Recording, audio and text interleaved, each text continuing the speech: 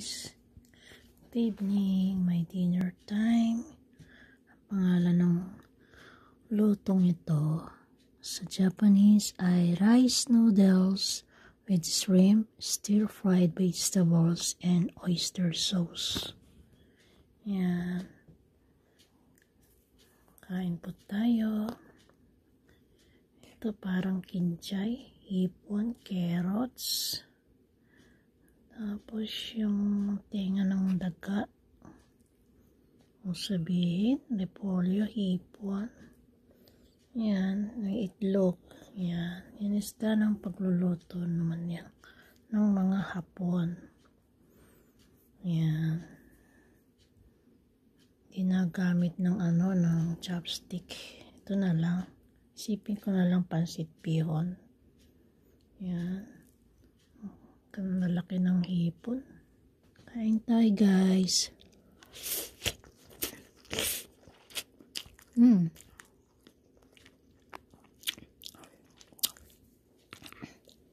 Alright, mabulunan ako. Masarap naman. Parang pansit din sa atin. Iba lang ang tawag sa kanila. Hindi. Yun nga, sinabi ko na nga. Mm.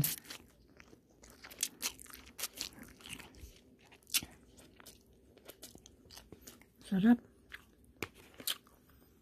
Naiiba rin yung lasa niya. Sarap.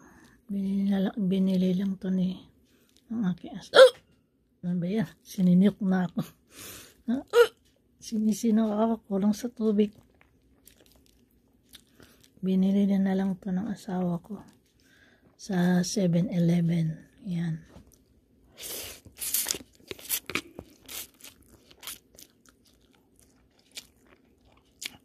Hmm, harap.